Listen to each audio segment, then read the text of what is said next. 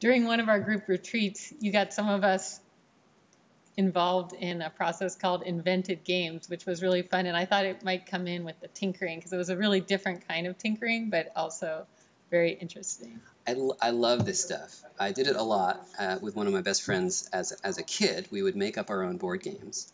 And so what I did on this retreat was um, gathered up a whole bunch of just guts, bits, and pieces of board games, and also things like bouncy balls.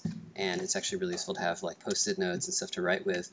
Uh, and then just spread it out on the table, and then uh, try to come up with a new board game.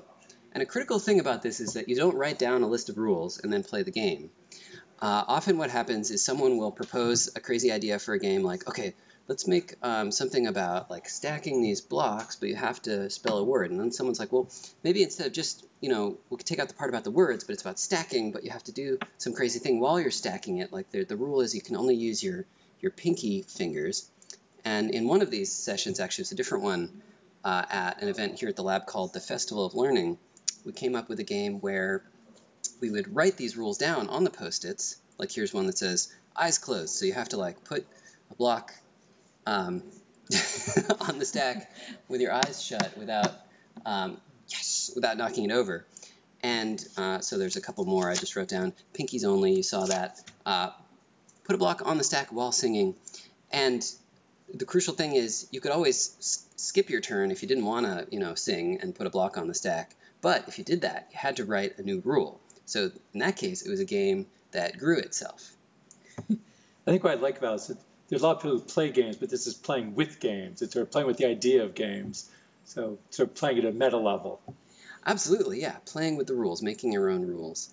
And and I think there's this really important idea of the rapid iteration. So quickly trying out uh, different rules, uh, adding to or modifying the rules, uh, and in that way, sort of finding some new unexpected space of possibilities. And mixing together, like you said, well, what if we cross poker and boggle and cards, and how would we do that? And so we start coming up with things and start varying it and One laughing my, a lot too. yes, it, it can be very silly.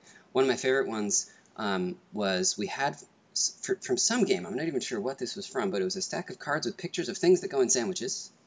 We had those, and we had some boggle dice with letters on them, right? And the way the game worked you would um, pull out uh, one of the cards with a picture of a sandwich ingredient, like lettuce or onions, and then you would roll, uh, say, three of the boggle dice. And so you'd get three letters, and then the game was the, the person wins uh, who is the first to come up with a phrase where each word starts with one of those letters and describes the picture on the card.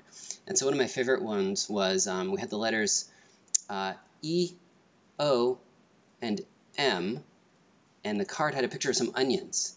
And someone said, "Oh, my eyes!" And uh, that was clearly the winner in that case. Um, but that that game only evolved after a bunch of different iterations of possible rules. How do you think this uh, activity of invented games relates to the work you do when you're inventing new te- technological tools? It's a really um, interesting question. I think they do relate closely. One way is that I'm often tinkering with systems. So I'll be using uh, Scratch or another programming environment like processing or open frameworks. These are the tools that I use to make things. And so I'm playing around within that system. But I might get some idea that requires breaking the boundaries of that system.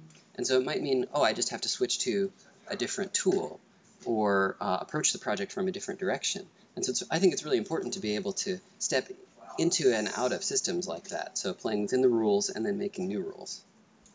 Cool.